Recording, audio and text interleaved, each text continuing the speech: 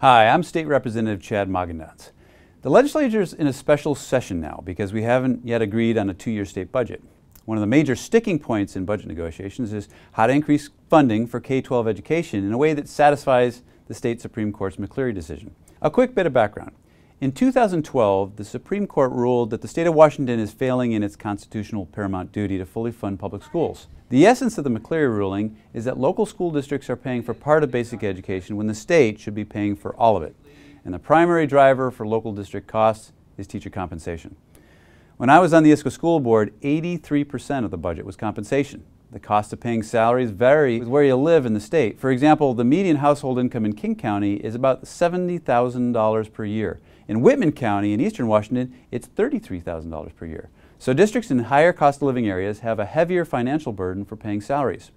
In order to comply with McCleary, the state must take on the burden of compensation because it is part of basic education. A quick note on teacher pay. The Seattle Times has compared teacher salaries in various school districts with the median home values in those districts. The Times found that in the Issaquah, Lake Washington, and Bellevue school districts, teacher salaries were not sufficient to afford a home in those districts. That's why I support a local labor market adjustment, which would take into account the local cost of living when allocating state funds for teacher compensation. There's a bipartisan agreement on the fact that we need a significant increase in state funding of K-12 education. At the very least, we're looking at a total spending boost of nearly 18%, and that number could go higher in the final budget. It's important to remember this when you hear news of teacher walkouts across the state. Every single proposal includes an increase in teacher pay and an overall major increase in K-12 funding.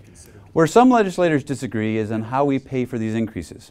The Senate Republican plan stays within current revenues. For months now, we've known that thanks to the recovering economy, the state will take in 3 billion more than the last budget cycle.